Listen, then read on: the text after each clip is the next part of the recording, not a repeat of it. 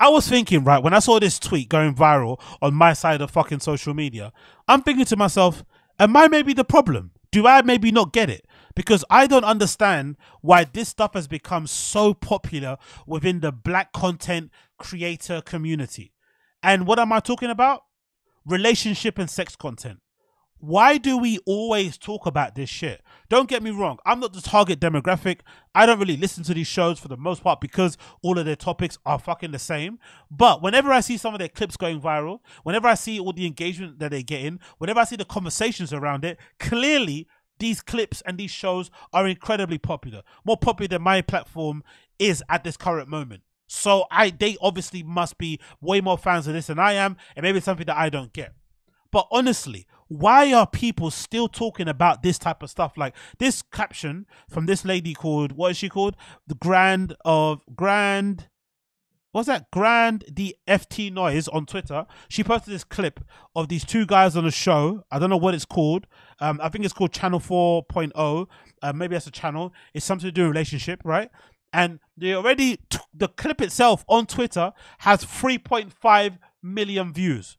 It has 800 and 885 replies, 7,282 reposts, 11.5 thousand likes, and 3,309 bookmarks. Plenty of people are loving this stuff. So maybe it's just me. Maybe it must just me who doesn't get what's going on here. But we're going to actually play the clip from this thing and see what exactly they're talking about because I don't get why this same content about well, how much you should spend on the first date. Should you hold the door open? Would you sleep with a girl or be in a relationship with a girl if she had a child? How much money? Like all this stuff is like, bro, can we be can the Lord above please deliver us from the scourge of talking about relationships and sex on podcasts day in, day out? Like on my life, on my life, I have never never sat around with a group of people in real life, IRL, right? Touching 4K, all that shit, and spoken about relationships and sex this much. Never. I don't think regular people do. Maybe I'm may, maybe I'm in the wrong here. Maybe you tell me. Maybe you you're at home or with you your friends on the group chat. You're talking about fucking men and women, dating habits, relationship stuff. When should you have a baby? When's a good time to get married? Would you take the person's last name? Maybe you talk about this all the time. But I don't know anybody in real life who does this. Like honestly, it really makes my mind, my brain want to leak out of my earlobes of how bad this is. But anyway, let's hear what they have to say here and let's hear what this interesting 3.5 million view content is sounding like because maybe I'm the one that doesn't get it. Maybe I'm the one that doesn't get it. Taking a girl on a date, what cuisine are we looking at? Um, took a girl to a place called Monkey House, yeah, and I didn't know how expensive it was. And you know how it is when you're going out and you're Them buying places these are drinks, expensive for They're expensive, drink. innit? So, So she- she's ordered like four cocktails, yeah, and she hasn't even ordered her food yet. It's coming up to like forty quid. I've only got a bill fifty. So I started to like saying, I ain't even hungry, you know. She's like, well, I'm hungry. I'm hungry. I'm gonna order. So I've gone to the toilet and I've texted my boy. He's not answering. So I've called him. I said, brother, please. I need money. I need like a bill 50. I'll run it back to you. So all I'm doing during the day is literally just doing this. Refreshing. Refreshing, just trying to see the balances change. So I'm sweating now, yeah. And then she's like, oh, do you want more? Should we get more drinks? In my head, I'm like, this is where it's gonna go left because if I if I say no, yeah, you can't say no. I can't say no, so I'm gonna. It's up to you. She's ordered more drinks now. I've then thought, yeah, this is peak. I'm gonna have to ask her to borrow me some money or let's go halves or something. I just thought, let me just refresh again, and I saw 300 pound in there. 150 Oh, there. big up broski, man. Fabe, Fabe. Alright, Fabe, big up Shout yourself, out Fabe. man. Fabe knows the story anyway. It gave me confidence in it, but it made me realize I can't do this. Mm. This is like living on the edge. So yeah, that was my my worst experience I've ever had. Now, don't get me wrong. It's a funny story. Um, I do understand why people will like it. I get it. But honestly, has this been the first time you've ever heard of somebody going to a date and maybe being worried and sweating buckets about how much it's going to cost?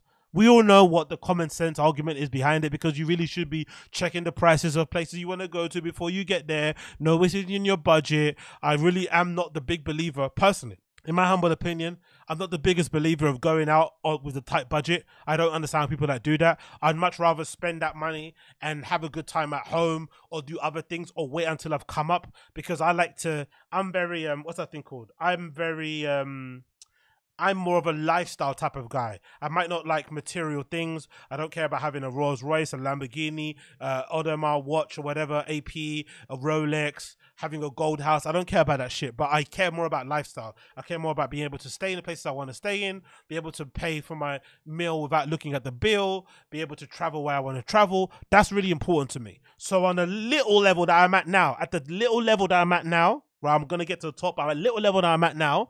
I am not willing to go on holiday and live like a rat for 50 with 50 euros in my pocket.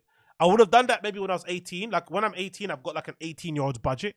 But the older you get, the more you earn, the more things that you kind of, you know, you can't live without. For instance, I'm gonna I'm gonna buy a ticket. I'm probably gonna take check-in luggage with me because I want to have a different outfit for the whole weekend I'm going. Even if it's four days, I want a different outfit every day. I might even take four pairs of shoes. Don't judge me. It's just the way that I'm. It's just the way that I am. I want to have also to make sure that I have 100 euros at least bit of spending money per day. Cool, whatever needs to be done. I want to make sure I have money to drink. Cool, it needs to be done. But I'm not going to go to the tight budget. So you kind of have these things in your head that you kind of work out. Same thing I would imagine when it comes to dating. Why would you go out with somebody who you're willing to invite, right? Which means you're probably going to pay for their half of the meal. Why would you go on like a meal that on a tight budget? It makes no sense, right? Even if you went to even if you went to fucking Wagamama's, I would I would assume 150 Wagamama's for a meal of two plus drinks is probably about what you're gonna pay to go Wagamama's. Probably, I'd imagine. Even maybe even Nando's, depending on how the how you how the night goes, you could easily spend a bill there easily. So whatever, that that that needs to be said.